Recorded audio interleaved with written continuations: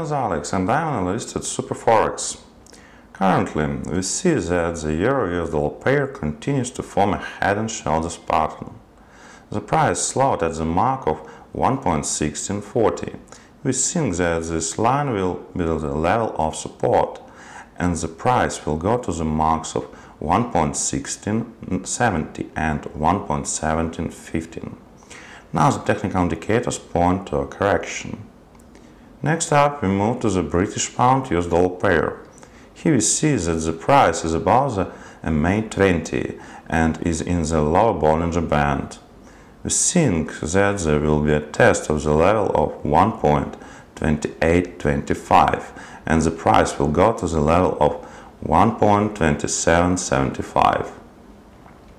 Regarding the Australian dollar US dollar pair, we can see that the pair found resistance at the level of 73.40 and fell below the 73.15 mark.